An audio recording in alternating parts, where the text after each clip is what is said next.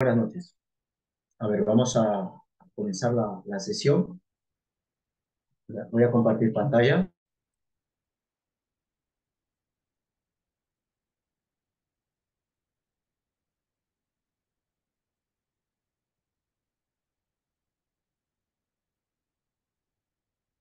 Muy bien, a ver, eh, vamos a, a ver eh, el día de hoy un poco sobre qué es el cronograma del proyecto de construcción, ¿no?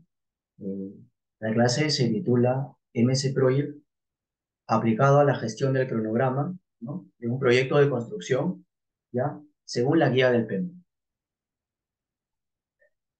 los temas que vamos a tratar el día de hoy específicamente son tres. Son tres aspectos de, todas las sesiones que se van a llevar a cabo. Vamos a ver la gestión de proyectos, la gestión del cronograma y un caso práctico en MS Proyecto.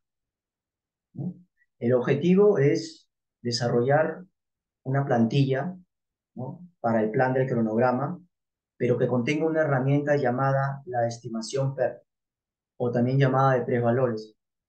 Esta estimación lo que hace es introducir, eh, comúnmente conocido como buffer o reservas de contingencia, a la ruta crítica de tu proyecto de construcción. ¿Ya? Muy bien. Y cualquier duda o consulta lo pueden ir haciendo en el chat. ¿Ya? A ver, vamos a ver el punto número uno, ¿no? La gestión de proyectos. Vamos a ir eh, de, lo, de lo general a lo particular y vamos a aterrizar después en el área del cronograma. ¿no? en este punto vamos a ver los diferentes enfoques de desarrollo que se tratan de cómo debo planificar mi proyecto. Y también vamos a ver eh, la guía del PEMBO. Primero, el enfoque de desarrollo. Partamos que vamos a, dirigir y gestionar un proyecto. ¿no? Pero, ¿qué es la dirección de proyectos? Mira, eh, según la guía del PMBOK, ¿ya? Es la aplicación de conocimientos, los cuales se tienen que adquirir, ¿no? Eh, y vas a desarrollar tus habilidades, ¿ya?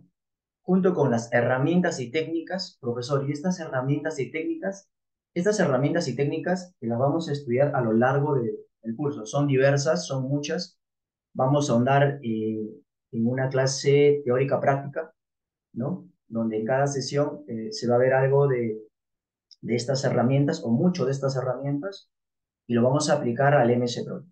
¿ya? ¿Cuál es la intención? De poder cumplir los requisitos del proyecto. ¿no? Muy bien, pero para hablar de dirigir proyectos, eh, hay alguien que se llama director de proyecto, que es la persona encargada de poder gestionar el plan y desarrollarlo. ¿no? Y este señor se va, va a prestar este, un buen servicio a la organización y se va a apoyar en la PMO. ¿Qué es la PMO? La PMO es la, la Oficina de Gestión de Proyectos, ¿ya? Y esta PMO, por lo general, tiene tres roles, ¿no? A ver, eh, me refiero a la, a la oficina donde está el ingeniero residente, el ingeniero de seguridad, el ingeniero de producción, el ingeniero de planeamiento, ¿no? El asistente, el administrador, ¿no? Este equipo de trabajo se llama PMO, o Oficina de Gestión de Proyectos, ¿no? En la obra, ¿ya? Y los roles que puede tener son tres en específico. El de soporte, porque va a desempeñar un rol consultivo. Aquí va a suministrar plantillas, las mejores prácticas, va a poder capacitar, pero tiene un grado de control reducido. Punto número dos, ¿no? tenemos el rol de control. Específicamente eh, van a proporcionar soporte ¿ya? y van a exigir que cumplimiento, ¿no? Ellos tienen un grado eh, de control moderado. Y el número tres, La PMO directiva, ¿ya? Que es, eh, básicamente, ejercen el control del proyecto asumiendo su propia dirección, o sea, ejecutan el proyecto. ¿ya? A ver, esta PMO se va a encargar de desarrollar el, el plan del proyecto y va a tener dos enfoques, ¿ya? Hay dos enfoques, llamado el enfoque predictivo o también enfoque en cascada, que seguramente lo han escuchado, y este está orientado a un plan. En los proyectos de construcción hay algo que se llama expediente técnico, ¿no? Y este expediente técnico Pues que tiene el presupuesto, el cronograma de GAN, tiene un cronograma valorizado de obra, un cronograma de adquisición de materiales. ¿no? En este curso nos vamos a centrar, eh, y tiene más aspectos, ¿no? El expediente técnico, memoria, entre otras cosas. Pero aquí en el curso nos vamos a centrar a realizar el cronograma GAN, a realizar el cronograma valorizado de obra, ¿no? Respecto a la línea base de desempeño, y vamos a hacer el cronograma de adquisición de materiales. Ya. En el cronograma valorizado de obra, pues vamos a valorizar de, forma semanal, quincenal o mensual, dependiendo de cómo elijamos hacer nuestro cronograma. Y en el cronograma de adquisición de materiales, vamos a poder ver eh, la cantidad de, dinero que necesitamos. ¿no? Si tengo un cronograma valorizado, digamos, eh, semanal, mi cronograma de adquisición de materiales es semanal y voy a saber qué cantidad de dinero necesito eh, en horas hombre, por ejemplo, de operario, oficial, ayudante, y qué cantidad de horas hombre de trabajo necesito de cada uno de ellos. También, por ejemplo, del cemento, de la arena, de la piedra, en dinero y en metrado, si lo quieres llamar así, o en cantidad. Esto te va a mostrar que el cronograma de adquisición de materiales. ¿ya? Pero también es cierto que un proyecto, a ver, profesor, yo he dicho que voy a gastar esto y que mi cronograma es este. La realidad es que el proyecto cambia, ¿no? Y esto, por eso tenemos que ver que tenemos que combinar el enfoque adaptativo. Este enfoque adaptativo está orientado al cambio. Eh, seguramente te puedes alinear mejor, habrás escuchado el enfoque Lean, ¿no? Eh, los tableros Kanban, el equipo de trabajo Scrum, seguramente, ¿no? ¿Ya? Y, este enfoque predictivo orientado al plan está en el PMBOK sexta edición. Este enfoque adaptativo orientado al cambio está en el libro ágil, que lo vamos a ver más adelante. Eh, vamos a gestionar un proyecto con la intención de poder eh, salvaguardar o gestionar la triple restricción. ¿Qué significa? El alcance, los requisitos que vamos a gestionar del proyecto, el tiempo terminar en el tiempo que yo he estimado.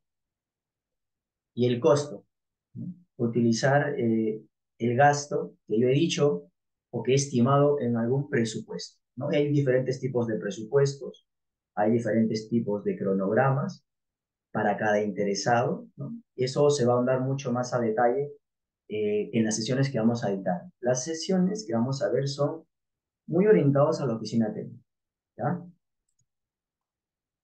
Muy bien. Eh, ¿Pero qué es el PMBOK, no? Eh, el PMBOK es un libro, ¿ya? Eh, que te da los mejores estándares, pautas, normas para gestionar proyectos, ¿no?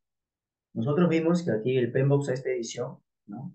Tiene el enfoque predictivo que está orientado a plan. O sea, este libro te ayuda a generar tu, ¿qué?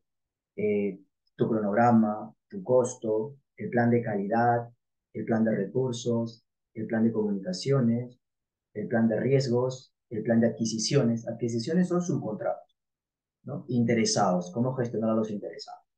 Pero sabemos que el proyecto cambia. Entonces, eh, el PMI también adjunta al enfoque predictivo el enfoque ágil, ¿no? Ágil es algo de rápido, veloz, reactivo, ¿no? Y tiene un enfoque adaptativo. Aquí encuentras los tableros Kanban, como te mencioné, Scrum, que son los más conocidos, hay otros, también XP, entre otros, y acá, eh, por ejemplo, el enfoque ágil te dice que hay que trabajar con equipos de alto rendimiento, lo que no está aquí. Pero si combinamos obra, ¿no? estos dos elementos, eh, lo que ha ocurrido ahorita es que el PMBOK, la última versión es esta que está aquí, el PMBOK séptima edición. ¿Qué te dice? Tiene el enfoque predictivo, o sea, combina hacer tu plan y el enfoque ágil, cómo poder, qué poder hacer cuando algo cambia. ¿Ya?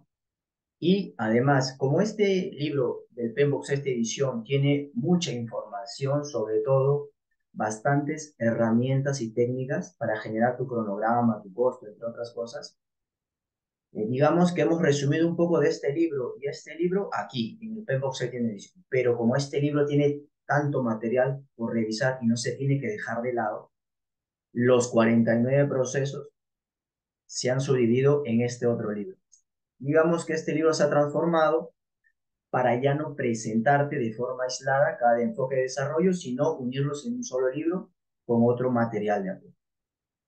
¿Ya? Luego de esto, eh, vamos a ver que nosotros vamos a aterrizar en, en la gestión del cronograma. ¿no? Eh, por ejemplo, eh, ¿qué, ¿qué, es el cronograma? Mira, el cronograma es, es una herramienta de comunicación que nos va a servir para gestionar a los interesados informando sobre el estado del proyecto, si estamos adelantados, si estamos atrasados, y vamos a utilizar también un poco el, el valor ganado, ¿no? variación del cronograma ¿no? y el índice de desempeño del cronograma. Específicamente aquí vamos a revisar los seis procesos. En todas las sesiones que vamos a tomar se van a revisar a detalle los seis procesos ¿no? que aparecen aquí. ¿ya? Y estos seis procesos que están aquí ¿no? son específicamente estos. ¿no? El primer proceso dice que es planificar la gestión del cronograma. El segundo proceso es definir las actividades. El tercer proceso es secuenciar las actividades. El cuarto proceso es estimar la duración de las actividades. El quinto proceso es desarrollar el cronograma. Y el sexto proceso es controlar el cronograma. Mira, planificar la gestión del cronograma, digamos, aquí hay algo que se llama el plan de gestión del cronograma.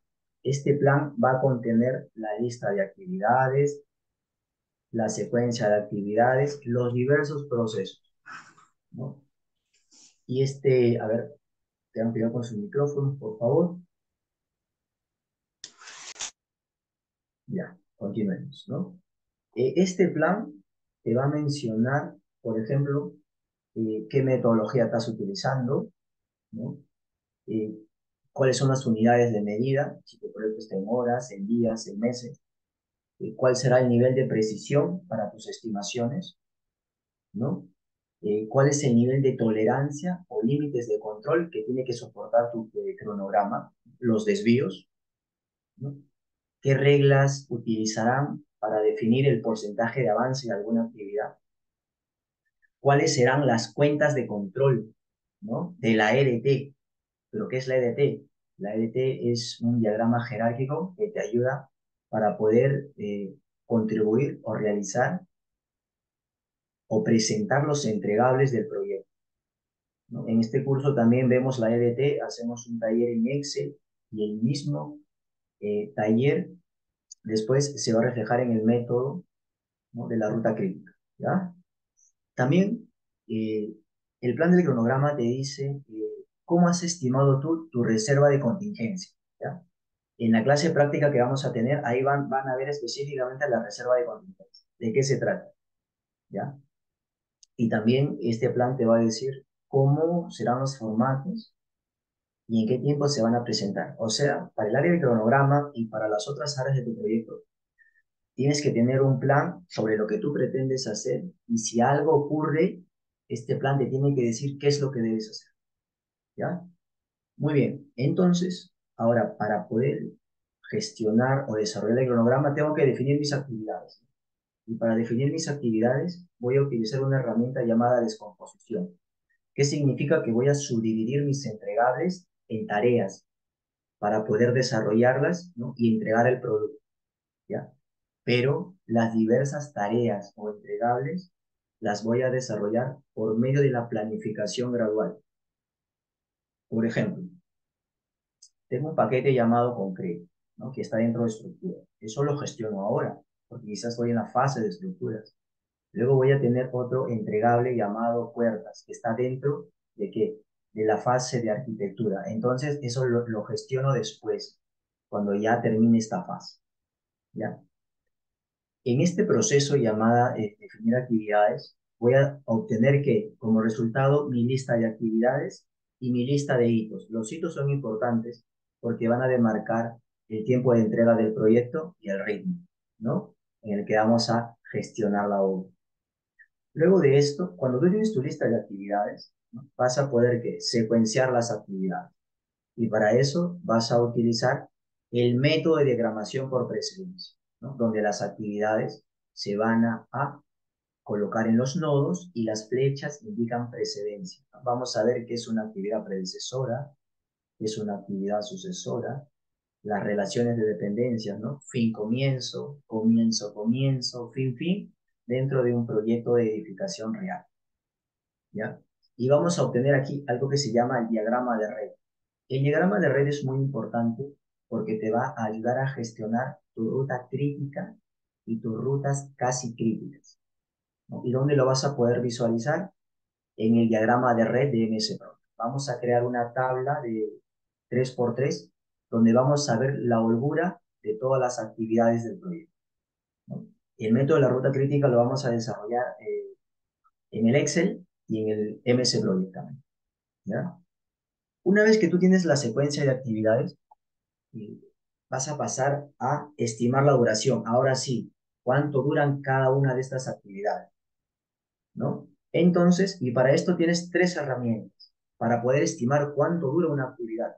Hay algo que se llama estimación análoga, ¿no? Hay algo que se llama estimación paramétrica, que es otra herramienta, y nosotros nos vamos a centrar en esto, en la estimación por tres valores, ¿ya? También vamos a aplicar el análisis de la reserva y vamos a ver la estimación de la duración de la actividad. Ahora solamente estamos revisando de una forma ligera las diversas herramientas y los productos que vamos a dar, ¿no? porque este webinar se trata de de una hora, ¿no? Es darte una visión holística de todo lo que se va a hacer de forma detallada, ¿ya? Una vez que yo tengo mi estimación, ¿ya? Eh, de las actividades, voy a poder desarrollar mi cronograma. Pero mi cronograma yo lo puedo presentar como hay eh, el diagrama de GAN, el diagrama de hitos, ¿no? el diagrama de red del cronograma. ¿no? Y voy a utilizar el método de la ruta crítica. ¿no? Eh, el método de la ruta crítica es aquella ruta, escucha, aquella ruta o rutas del proyecto donde la holgura total de todas sus actividades sea igual a cero. Un proyecto puede tener una ruta crítica, dos o tres, o las que aparezcan. Y también tiene rutas casi críticas. ¿Ya? ¿Y cómo me doy cuenta que tiene estas rutas casi críticas? Lo vamos a ver en el diagrama de red. ¿Ya? Muy bien. Y para esto, por ahí me preguntaron, ¿no? Vamos a generar la curva S. Sí, la línea base del cronograma se llama la curva S, ¿no? que tiene ciertas características. ¿ya? ¿No? Eh, vamos a generar el cronograma valorizado y, vamos a acumular los costos, digamos, de cada semana y vamos a generar la curva S. ¿ya? Y vamos a obtener el cronograma del proyecto. ¿no? una vez que yo tengo mi plan, ¿qué hago? ¿no? Voy a ejecutarlo, ¿no? Y cuando lo ejecute, podría darse la situación de que esté atrasado, y para eso voy a aplicar comprensión del cronograma. ¿ya? Aquí, dentro de comprensión del cronograma, hay dos aspectos o dos herramientas que vamos a utilizar, que se llama la intensificación, ¿no? incorporar más recursos, o la ejecución rápida, digamos, adelantar algunas actividades de la ruta crítica, ¿no? o trabajar cierta parte de las actividades en paralelo. ¿no? Y también vamos a ver cómo va nuestro desempeño en esto que se llama información sobre el desempeño del trabajo. No es nada más y nada menos que el método de valor ganado. También vamos a hacer un ejemplo eh, práctico, ¿no? Referente al proyecto. Aquí nos estamos dando cuenta que los seis procesos tienen herramientas, tienen productos o salidas, ¿ya? Y esto lo podemos visualizar mejor, ¿no? Aquí, en un ejemplo práctico. Lo mismo que hemos visto acá, los seis procesos eh, digamos en algo ya más didáctico. Por ejemplo, profesor, la gestión del cronograma, ¿no? Yo tengo mi plan del cronograma, ¿no? Mi plan donde me va a relatar todo lo que voy a revisar. nosotros vamos a revisar también un plan del cronograma de un proyecto de edificación, todo lo que contiene. ¿no? Pero, profesor, como es un plan y hay mucha información que quizás no conozco, es por eso que solo la presentamos la primera sesión y la revisamos más a detalle, ya teniendo el conocimiento, conociendo las herramientas y técnicas en la última sesión. ¿Ya?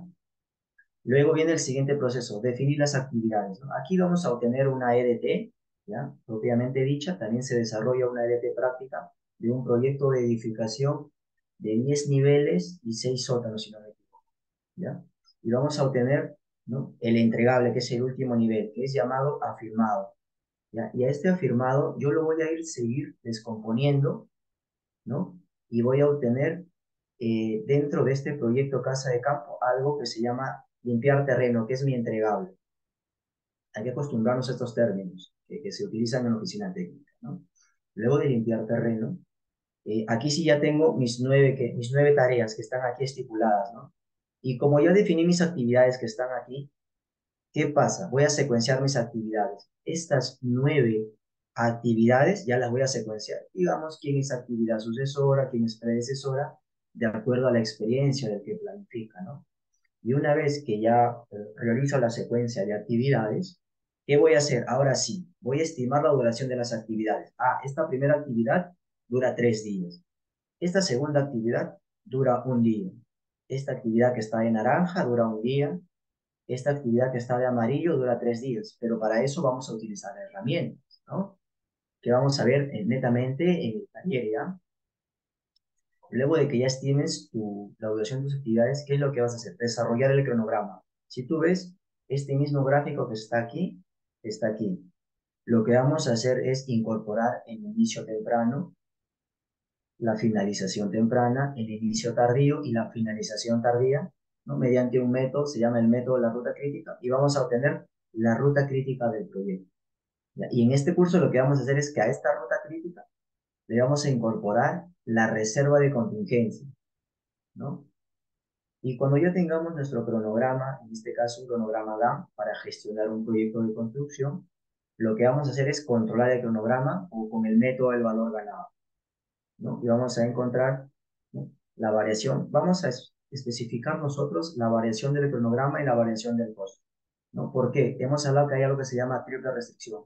O sea, si hablas de cronograma, tienes que hablar de alcance, que está dentro de la EDT, y tienes que hablar de costo, porque también vamos a incorporar recursos a nuestro cronograma y vamos a gestionar los costos. ¿Ya? Muy bien, entonces eh, te darás cuenta que tienes que pasar por todos los procesos para poder gestionar tu cronograma, ¿no? Y vamos a ver en el caso práctico eh, una herramienta, ¿ya? Una herramienta ¿no? que se llama, aquí te lo voy a explicar de forma, digamos, numérica, y en el taller que vamos a hacer a continuación, digamos, más didáctico y más práctico. ¿ya? Hay algo que te dije, ¿no? Aquí, a ver, vamos a regresar aquí, específicamente aquí, ¿no? En estimar la duración de las actividades. Porque todo lo, todo lo demás es aplicar cálculos, pero aquí se llama algo que se llama estimación por tres valores, ¿ya? Y esta estimación por tres valores es lo que vamos a ver. ¿De qué se trata? Es algo, no es algo complicado. Hay, se llama distribución beta. ¿Qué significa? Si tú ves aquí en el eje X, ¿no? Son los días que demora una actividad. Por ejemplo, eh, va a haber una actividad que es el tiempo más probable. El tiempo más probable de que dure una actividad es metrado entre rendimiento por el número de cuadritos. Te sale siete días. Muy bien. Profesor, me sale siete días aquí el tiempo más probable. Luego, mediante el juicio de expertos, vas a decir que tienes un tiempo optimista, que me dure cuatro días. Menos, sí, porque estás siendo optimista, ¿ya? Pero también vas a decir tú de forma pesimista que hay un tiempo llamado tiempo pesimista, mediante juicio de expertos, con experiencia, ¿no? Y vas a decir que esta estimación más probable 7 va a oscilar entre estos días, porque lo que estás haciendo es una estimación. No es algo que 8 y queda 8, ¿no? Podrían ser días más o días menos. Esa es la realidad, ¿no? Hay algo que se llama duración esperada. ¿Qué es la duración esperada, no? Eh, de este tiempo que tú has estimado primero como más probable 7 días, optimista 4 y pesimista 16, la duración esperada es el tiempo optimista más cuatro veces el tiempo más probable más el tiempo pesimista todo entre seis. El tiempo optimista, ¿quién era? Cuatro días. Cuatro días dura. Mi tiempo más probable, más cuatro veces. ¿Quién es el tiempo más probable? Está aquí arriba, ¿no? El tiempo más probable, siete días. Más el tiempo pesimista. El tiempo pesimista, ¿quién dice que es? 16 días, Entonces, 4 más 4 por 7 más 16 entre 6, que es fórmula, lo que está acá arriba, te dice que la duración esperada de esta actividad, de las diversas que vas a tener, es 8 días. ¿ya? Pero hay algo que se llama también distribución triangular. ¿Qué significa? La duración esperada es igual al tiempo optimista más el tiempo más probable más el tiempo pesimista entre 3. ¿No? Digamos, optimista, 4, más el más probable es 7, 7 es de acuerdo a los cálculos, ¿no? Más el tiempo pesimista, 16, entre 3. ¿Igual a cuánto? 9 días. Profesor, aquí me salió 8 y aquí me, me salió 9. ¿Quién decide qué colocar? El que hace el plan. Si tú sabes que tu proyecto eh, va, va a demorar, o sea, haciendo cálculos específicos, digamos un día más, de 7 me voy a 8, profesor. Yo va a aparecer en mi plan 8 días, pero yo sé que con cálculos es 100. O sea, voy a darme un día como reserva de contingencia, sí. ¿De quién depende eso? De cada uno de nosotros. Yo, digamos, otra persona va a pensar, no, voy a utilizar la distribución triangular, me voy a dar dos días. Los dos están bien, porque cada uno conoce su organización, ¿no? Ah, por ejemplo, alguna vez te ha pasado, a ver, yo sé que este proyecto de organización lo da 10 meses, pero yo sé que vamos a demorar 12. Ya, pero ¿cómo colocas estos dos meses dentro de tu plan? Mediante la estimación por tres valores y lo vamos a colocar. Claro, correcto, Kevin, eso es el buffer de tiempo. Pero aquí lo vamos a colocar, digamos, ahorita vamos a hacer en un proyecto de edificación, ¿ya? Es de una galería comercial. He sacado solamente tres, tres actividades para que vean cómo se utiliza esta herramienta eh, en una plantilla que vamos a crear en la propia sesión, ¿no? Muy bien, a ver, entonces me dejan compartir ahora la plantilla del MS Project para ver de forma práctica eh, lo que vamos a, hacer, ¿no? Se van a dar cuenta que no es complicado, pero tenemos que conocer la plantilla y eh, la teoría, si lo quieres llamar así, o obtener conocimientos.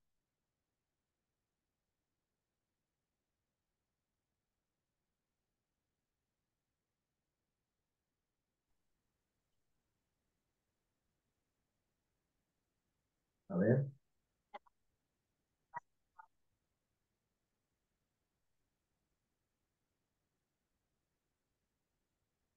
Muy bien, vamos a ir eh, conociendo ¿no? esta plantilla que tenemos aquí. ¿no? Esta plantilla eh, la vamos a crear en la sesión ¿no? y se van a aplicar diversas fórmulas para poder crear esta plantilla. ¿ya? Ahora ya la tenemos creada, ¿no? porque vamos a dar en la clase práctica donde tenemos, miren, eh, el ítem, la partida, la unidad, el metrado, el precio unitario, el costo, el rendimiento, ¿no? el número de cuadrillas, el tiempo más probable, que es el que sale de los cálculos, el tiempo optimista, que es el juicio de expertos, el tiempo pesimista, que también es el juicio de expertos, el tiempo esperado, ¿te acuerdas que era, digamos, si utilizamos la distribución triangular es tiempo más probable, más tiempo optimista, más tiempo pesimista, entre tres. ¿no? Todo ya está, ya está este, con fórmulas y nosotros solamente vamos a ingresar la información que tenemos. ¿ya? Y luego vas a, a colocar la duración del proyecto, que son los días efectivos de trabajo, pero nosotros vamos a presentar un calendario, ¿no? La duración calendario que también está con fórmula y depende de la duración efectiva de trabajo, ¿ya? Vamos a introducir información.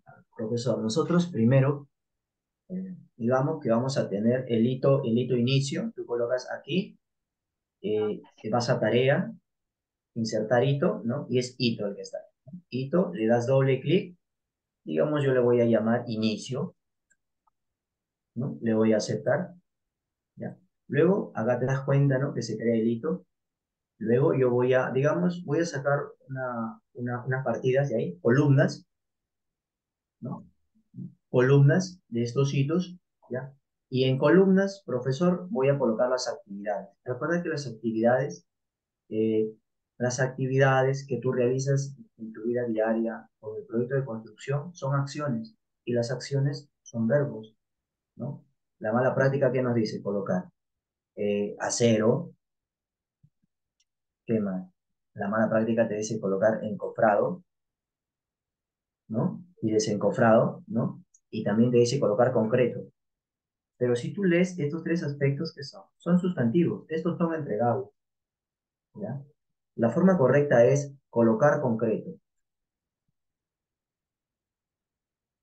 eh, colocar encofrado y desencofrado.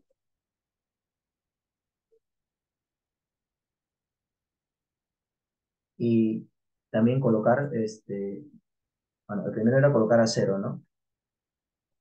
Colocar a cero y aquí colocar concreto, ¿no?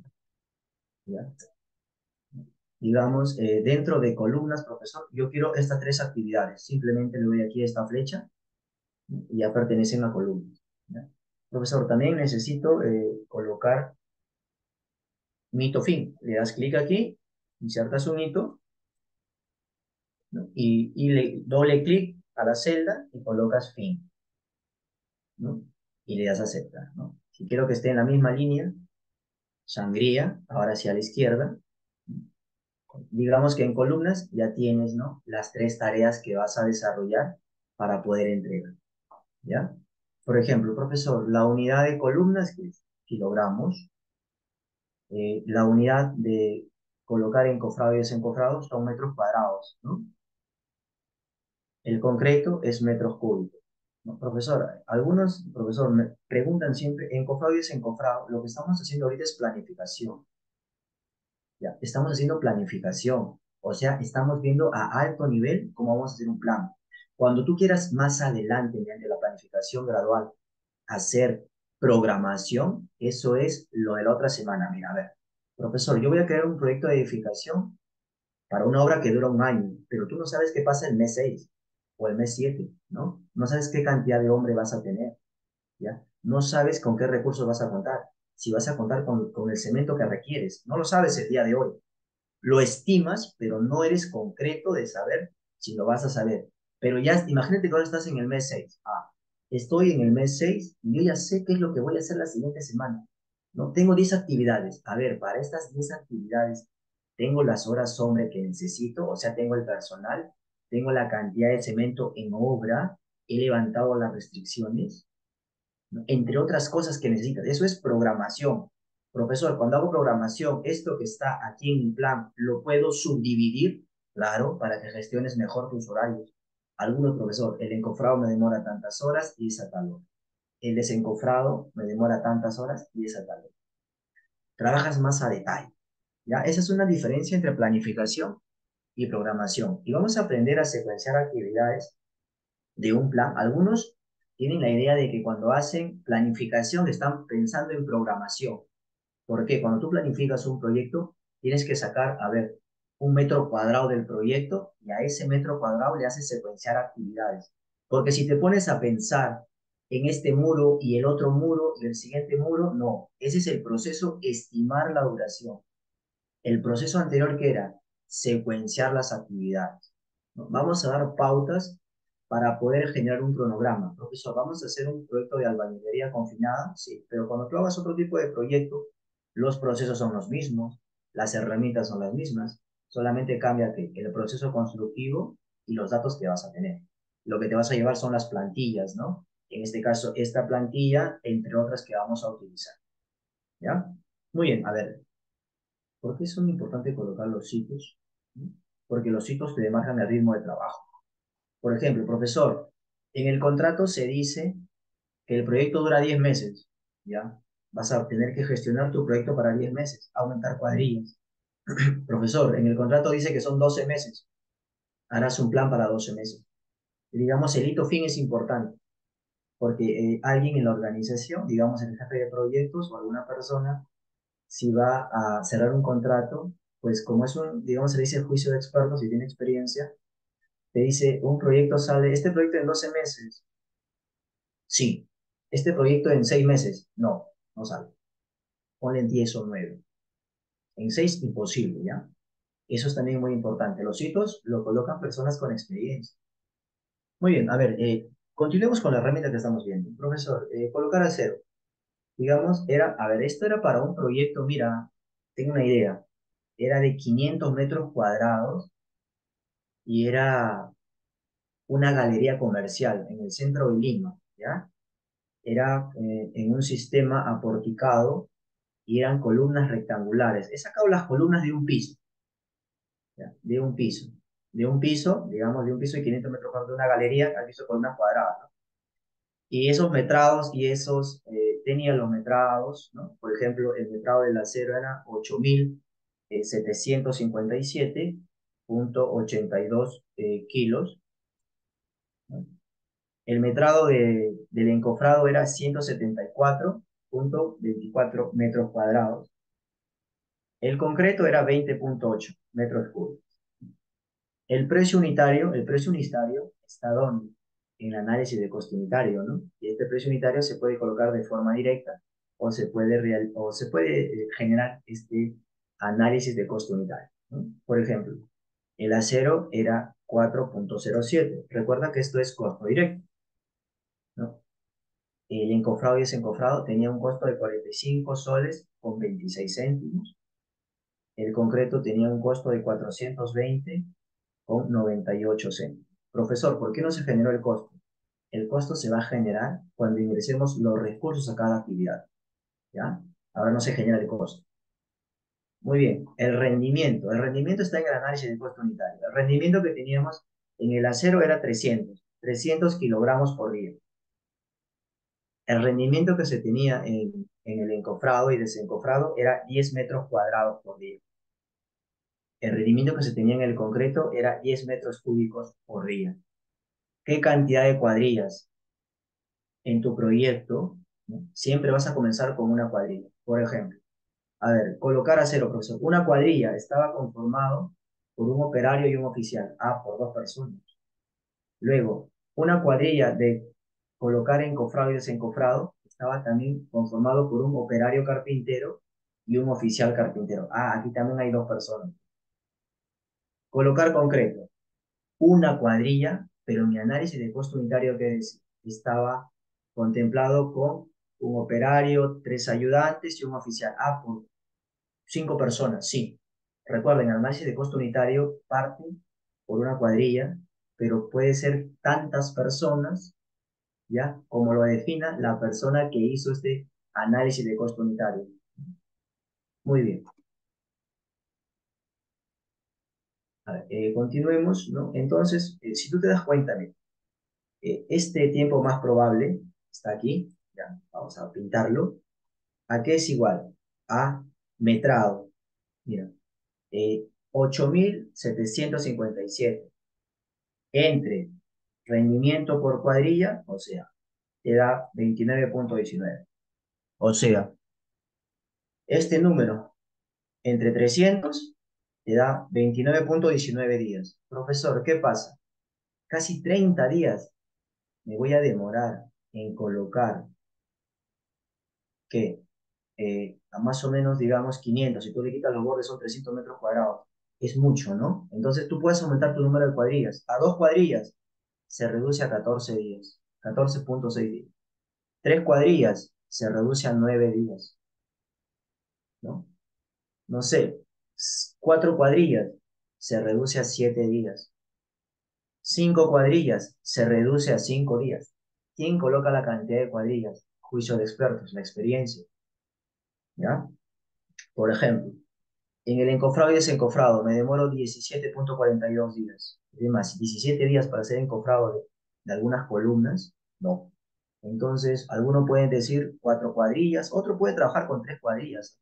¿De qué depende? Profesor, al final me salió un cronograma de cinco meses, digamos, del proyecto.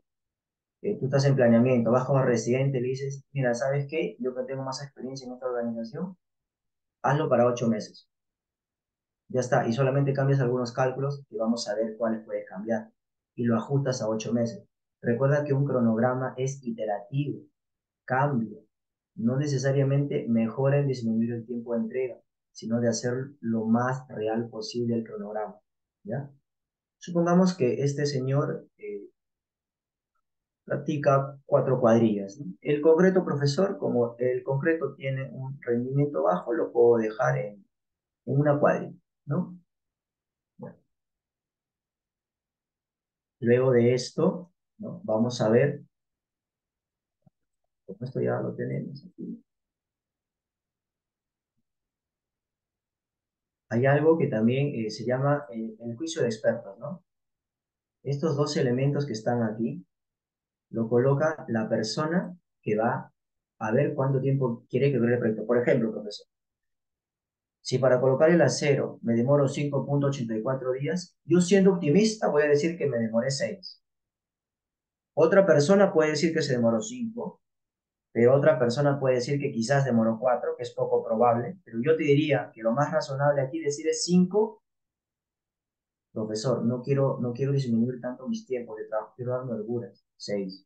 El inmediato superior podría ser.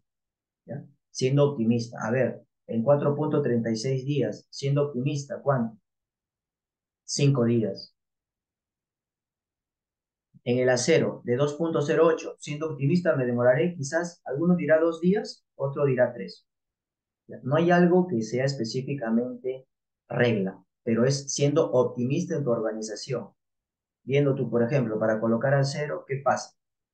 A veces no hay alambre, a veces no llega el acero, a veces no hay personal. Para colocar el encofrado, a veces no hay permisos. A veces el otra área no te deja trabajar en altura. A veces no hay arnés. A veces no vienen los operarios. O a veces el rendimiento del operario es mucho menor que los estimados. Entonces hay algo que se llama eh, incertidumbre y variabilidad y aparece en los proyectos. Entonces, estos tiempos que van a aparecer tienen que aparecer también en mi plan, ¿ya? Eh, por ejemplo, ahora mira, si veo colocar eh, a cero, ¿no? Ahora quiero ser pesimista, mi peor escenario, a ver todo lo que te he dicho, ¿qué te puede pasar? Algunos podrían colocar, no sé, profesor, de seis podrían ser siete u ocho días, ¿no? Pesimista, pero poner un pesimismo, no sé, de quizás 12 días entre 6 y 12 creo que hay mucha diferencia. ¿Dónde está tu gestión? Recuerda que si algo pasa el día 1, tú el día 2 debes hacer algo, ¿no? Para poder regresar al plan. Pero tienes que darte este pequeños buffers para que te dé tiempo de que regreses a tu plan inicial. Sí. Por ejemplo, podría ser que mi tiempo pesimista fuera, profesor, 8 días. ¿no? Eh, en colocar encofrado y desencofrado. Mi tiempo pesimista que sean seis días. ¿ya? En colocar concreto, mi tiempo pesimista que sea un día más no me cuatro. Mira, ahora, estos tres tiempos que están aquí, si yo los pinto, me van a dar este tiempo que está aquí. El tiempo esperado, mira, 5.84 más 6 más 8 entre 3, 6.61 días. 4.36 más 5 más 6, 5.12 días. 2.08 más 3 más 4, entre 3, 3.03. ¿No? Entonces, eh, ¿qué significa? Si tú ves aquí, vamos a traer, ya que estamos por aquí, vamos a traer esto. te acuerdas que se puede traer para adelante o para atrás. Vamos a traerlo aquí, ¿ya?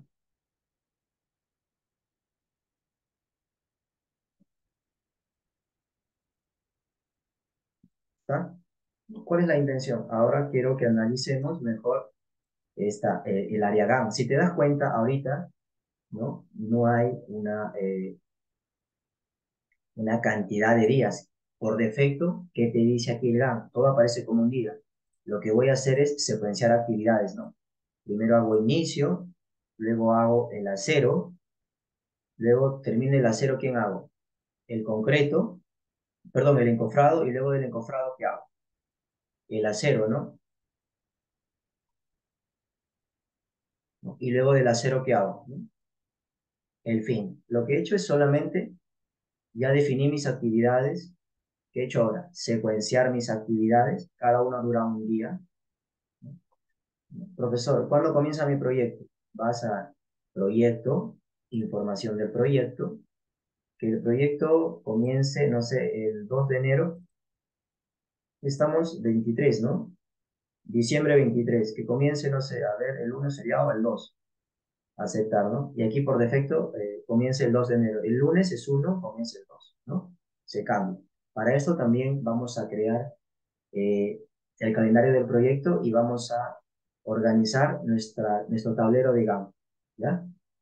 En base a que tengo esto, ya hice secuenciar actividades, ¿qué voy a hacer? Estimar la duración. El acero, ¿cuánto demora? 6.61. Como duración colocas el inmediato superior. 7. Mira, ya cambió a 7 días. ¿No? Ya cambió a 7 días. Ahora, este resultado que me salió, 5.12, el inmediato superior, 6 días. ¿No? Y ahora ya se colocan en, en mi diagrama de edad los días que demoran. Esto que es 3.03, el inmediato superior, no te he dicho redondeamos, el inmediato superior, porque son números enteros. 4, profesor. Bueno, ¿Qué quiere decir? Que lo que vas a poder gestionar aquí es que eh, pasaste de 5 días a 7 días. De 4 días, 4.36, 5 días, específicamente números enteros, a 6 días. Te diste un día más. De 2 días a 4 días. Si tú eres, no eres tan optimista y eres muy pesimista, estas cantidad de días lo puedes incrementar o lo puedes reducir. Es que no hay algo que te diga cómo hacerlo. Lo que vamos a hacer nosotros es hacer un proyecto de edificación y tomar quizás las mejores prácticas para eso. Profesor, aquí voy a hacer el acero. Esto también es importante. Doble clic aquí. Eh, retardo. Algunos, por ejemplo, profesor, yo quiero comenzar. Mucho. Un día mucho, ¿no? Quizás alguno, profesor, ¿no? Después de comenzar mi acero, al segundo, tercero, al tercer día comienzo con el encofrado, ¿no? Y luego, para trabajar el concreto, acá puedo reducir los días. ¿Esto también de quién depende? Y te das cuenta que el proyecto en realidad ya dura, ¿cuánto? Nueve días. ¿no? En nueve días, ¿qué deberías hacer? Colocar el acero, colocar el encofrado y el vaciado de concreto, digamos, de un área de cerca, si le quitan los espacios múltiples, eran como 300 metros cuadrados. Profesor, pero esto yo he visto que lo puedo llevar a 8 días, o a 10 días, o a 11 días. Sí. Por eso también tienes proyectos anteriores, ¿no? Donde que te sirvan como que, eh, digamos, se llama repositorio de lecciones aprendidas, ¿no? Para que puedas ver eh, qué tan real debería ser tu proyecto. Profesor, a ver, yo he hecho mi plan por primera vez y me salió 12 meses ves un cronograma o dos cronogramas, digamos, específicamente que tengan semejanza a tu proyecto, a esto se llama estimación análoga, y demoraron 14 meses. A ver, vamos a, y te pones a revisar, y te pones a andar, y entre comillas te pones a practicar. Seguramente tu primer plan no va a salir tan real o el mejor posible, pero yo aseguro que el segundo, el tercero, el cuarto plan que tengas, lo vas a hacer mucho mejor. Es como cuando leemos ¿no? algo leemos la primera vez, bueno, se nos quedó algo, ¿no? Leemos la segunda vez y entendemos mejor. Lo leemos por tercera vez, y entendemos a detalle mucho de lo que no vimos en la primera y en la segunda lectura. Más o menos esa es la lógica. Y aquí te, he presentado algo que se llama la, la estimación por tres valores, ¿no? Y hemos generado ahorita un, un pequeño cronograma ¿no? para un pequeño proyecto de edificación. Y hemos incorporado los buffers dentro de mi ruta crítica. Tú sabes que aquí podría demorar la ruta crítica del proyecto, que podría demorar ¿no? 6 más 5, 11, 13, ¿no? Pero acá demora, eh, dependiendo de qué tan optimista sea o no seas tan optimista. Cada uno conoce su organización, a su personal obrero y también, ¿por qué no, su personal técnico? Y en el tiempo pesimista también, cada uno conoce su organización. O puede ser poco pesimista, o puede ser tú muy pesimista. O, que alguien te diga, a ver, haz el proyecto para 12 meses y ya está. Lo ajustas a 12 meses porque es lo que necesita el proyecto. Porque recuerda que todos los proyectos son diferentes. ¿Ya? Hasta aquí, no, profesor, acá demoró 9 días y mi duración calendario 10. ¿Por qué un día más? Por el domingo que está aquí por el domingo que está aquí, acá te duró. Estas, todas estas columnas están con fórmulas, ¿no? Que las realizamos en las sesiones de clase. Ahorita te estoy presentando la plantilla terminada. Y esto es planificación. Después de esto, generamos un cronograma valorizado, un cronograma de adquisición de materiales, le hacemos un poco de seguimiento al proyecto, hacemos un poco de reprogramación en las sesiones que tenemos eh, correspondientes, que son ocho, si no me equivoco, ¿ya? Hasta aquí eh, sería todo con el taller del día de hoy. ¿Tendrían algunas eh, dudas, consultas?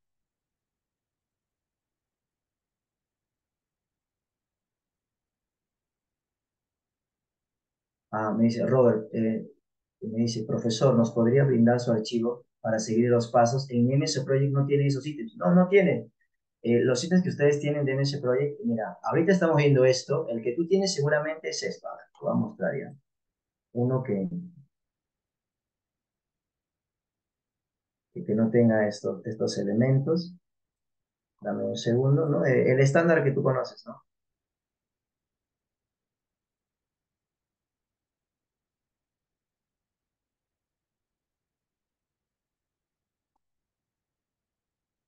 El, el que tú conoces es, es este, ¿no? Eh, el rendimiento, este, Juan, lo tienes de tu análisis de costo unitario. ¿ya? Si tú estás en oficina técnica, nunca vale decir, yo recogí esos análisis de costo unitario y trabajé sobre ellos. Por algo hay algo que se llama juicio de expertos y tienes que analizar estos análisis de costos unitarios. Pero no te digo que analices todos. Eh, vamos a ver también la ley de Pareto y para ver eh, cuáles son aquellas eh, actividades que generan mayor impacto en el presupuesto y a ellos sí los vamos a poder analizar. Digamos, si tienes que analizar 10, 10 ítems, los 5 que tengan el mayor costo, no necesariamente el de mayor análisis de costo unitario, sino que sean el, el de mayor entremetrado por precio, le da un parcial. El que tengan el mayor parcial, si lo quieres llamar así pero hay que este, codificarlo por tablas dinámicas. Pero vamos a hacer tablas dinámicas sencillas también, ¿no? No son tan altas, no te preocupes, ya no son tan, tan a detalle, sino lo suficiente para poder entender y generar mejor mi plan del proyecto. Ya, esto es lo que generalmente tú, tú ves, ¿no? Nombre de la tarea, duración, comienzo, fin, costo, esto no hay, ¿no? Lo otro que yo te he mostrado es porque vamos a crear la, la plantilla, ya vas a tener la plantilla, ¿no? Y vamos a crear un proyecto de edificación desde cero, vamos a crear la plantilla. Eh, también vamos a ir al, diagrama de red, por ejemplo. Eh, miren, aquí, aquí nosotros, eh, profesor, podemos ver que hay algo que se llama el, el diagrama de, de GAN. ¿ya? Aquí tú entras, este es el diagrama de GAN, entras al diagrama de red y te das cuenta que las tareas tienen estas formas. Tarea 1, comienzo, fin, identificador, duración. ¿ya? Y nosotros eh, lo que vamos a, desarrollar aquí, a ver, vamos a mostrarles, nosotros también vamos a crear el método de la ruta crítica aquí, en este proyecto. Profesor, ¿cómo sé qué es ruta crítica? Está de ruta crítica los tres. Tú te vas al diagrama, a la tarea, al diagrama de GAN, al diagrama de red. ¿no? Mira, te das cuenta que lo que vamos a crear es esto. Las tareas, ¿no? Concreto, colocar encofrado y colocar desencofrado, te darás cuenta, ¿no? Que tienen que, profesor, inicio temprano, inicio tardío, finalización temprana, finalización tardía. H, 0. La holgura es 0, forma parte de la ruta. Aquí también, H0 forma 0. ¿no? Esto es de acuerdo a la guía del PEMBOK. O sea, hemos creado celdas en MS Project y vamos a poder gestionar las diversas rutas que hay y ver qué holgura tengo en las diversas actividades. Aquí tengo holgura, en otra quizás vas a tener dos días, cinco días, cuatro días y te puedes dar cuenta de una forma muy práctica en el diagrama de red, más no en el diagrama de GAN, que es más complicado. Sí, claro, Esteban, esto se puede utilizar para cualquier proyecto. Esto es para un proyecto de construcción o edificación en general, no, no necesariamente una casa o un edificio.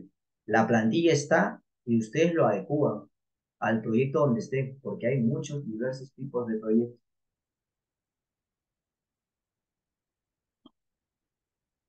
Muy bien, eh, consultas.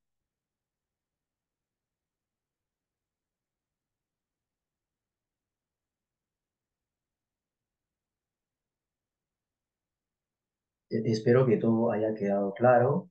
Recuerda que en las clases que vamos a tener sobre todo lo que hemos hablado, vamos a ir a detalle porque tenemos ahí no una hora, sino, sino tenemos varias horas para poder revisar y analizar todo a detalle. Inge, buenas noches. ¿Qué tal? Una consulta. En el tema del sábado se considera como si fuese un jornal completo, ¿no? Eh, en el programa. Eh, sería, en todo caso, o sea, tengo una, la duda sería, este, dos sábados podría considerarse como un día, ¿no? O sea, en caso sea la programación más larga. ¿O cómo se podría dar en ese caso? A ver, lo que pasa es que si nosotros ah, hemos visto, nosotros hemos visto en este plan que ahorita lo que estamos haciendo es eh, planificación. Planificación significa que tenemos que estandarizar todo. Tengo un metrado, profesor. ¿no?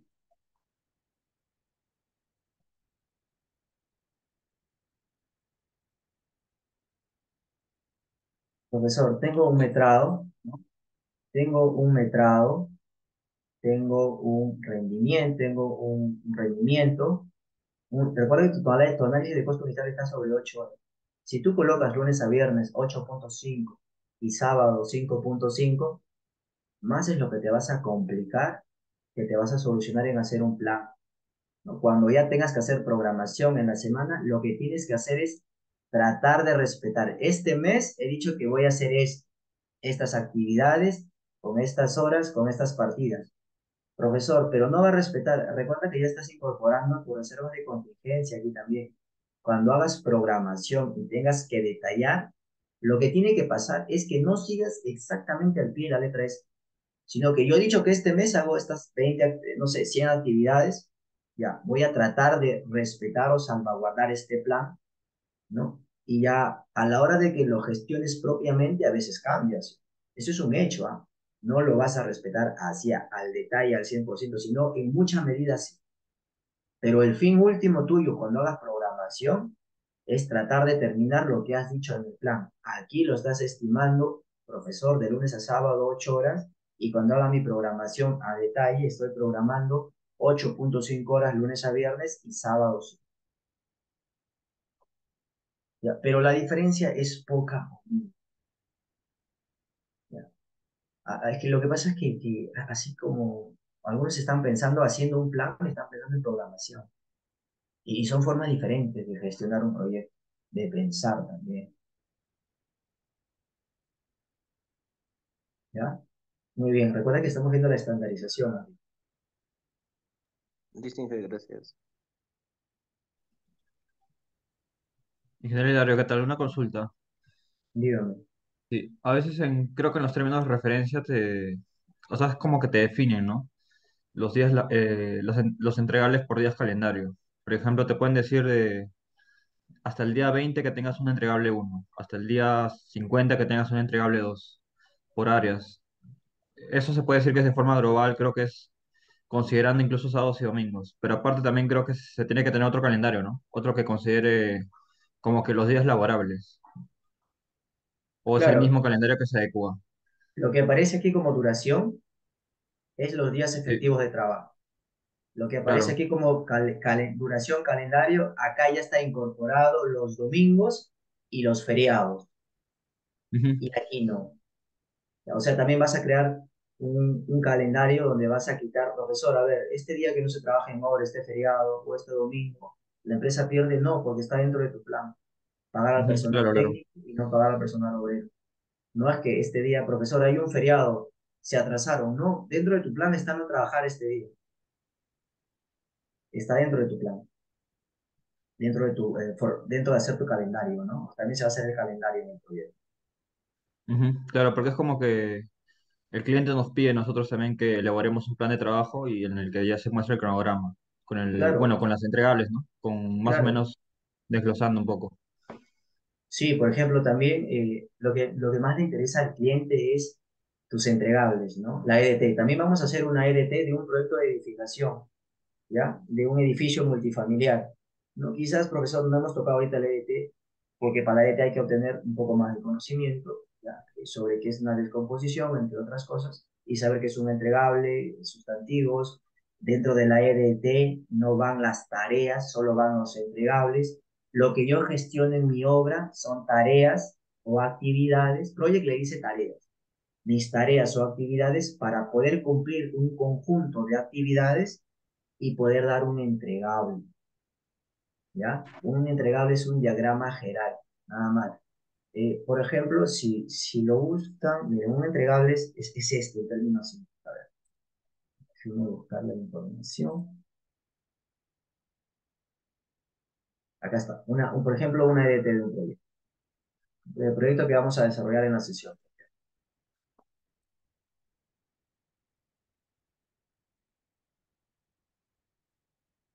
Por ejemplo, profesor, tengo un proyecto torre de oficinas, ¿no? Tengo el entregable, mira, un entregable concreto. ¿Qué está dentro de este entregable concreto?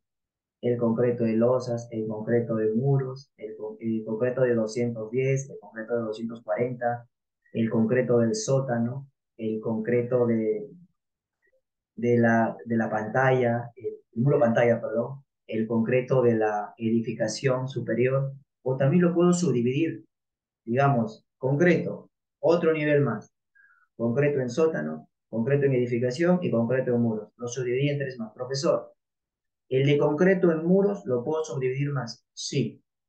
Y así, ¿hasta qué nivel? Esto se llama el primer nivel lo que tiene un dígito, lo que tiene dos dígitos es el segundo nivel. Mira, esta EDT viene de este presupuesto, a ver, para que se entienda. Esta EDT viene de este presupuesto.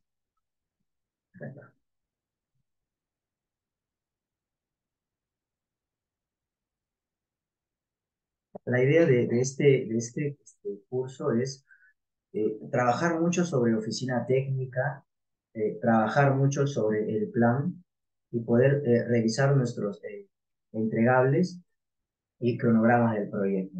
Esto es lo que también desarrollamos, la EDT. Esa, esa hoja que te mostré viene de este presupuesto. Este presupuesto, profesor, ¿no?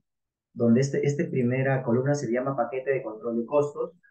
Te das cuenta, este presupuesto tiene 710 filas, pero todo lo has visto en una hoja a, 4 ¿no?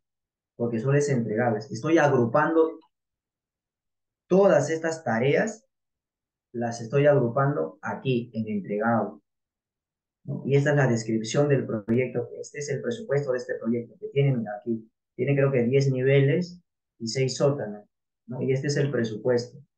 Y aplico un poco de Pareto también para saber lo que cuesta más.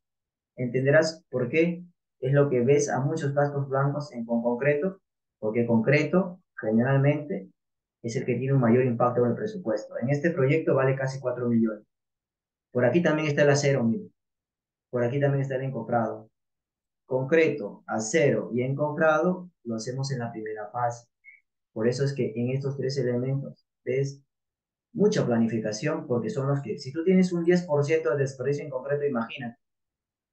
3.928.000. Un 10% significa 392.000 soles, casi 400.000 soles. Por eso debes estar gestionando de forma real esto, ¿no?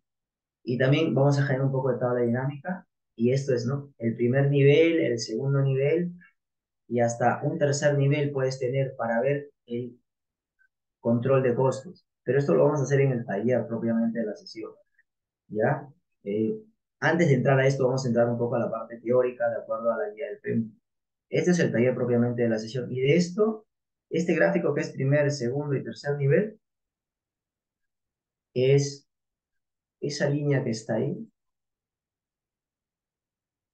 Es esto. Profesor, ¿y por qué está pintado algunos? Está pintado los que generen mayor impacto en el presupuesto. De acuerdo a Pareto, los que generen el 80% del costo. ¿Por qué revisar 100 entregables si sé que 8 de esos, 8 de esos, de todos estos entregables lo voy a gestionar porque cuesta más. O si tengo mucho desperdicio aquí, pues, eh, profesor, entre gestionar concreto o gestionar el gas, pues tienes que irte a gestionar el concreto de forma más detallada o supervisarlo. Porque el desperdicio que puedas tener aquí, quizás, si tienes un 5%, ya cubriste todo el gas. ¿Ya? Esa es más o menos la lógica del curso. Tratar de ir de lo general y ver qué podemos, o la forma más eficiente de gestionar tu oficina técnica, específicamente ahora un poco de costos, pero más del cronograma. ¿Ya? Esa, esa es la lógica del curso. aplicando mucha, mucho conocimiento y mucha práctica. Bueno, con MS Project.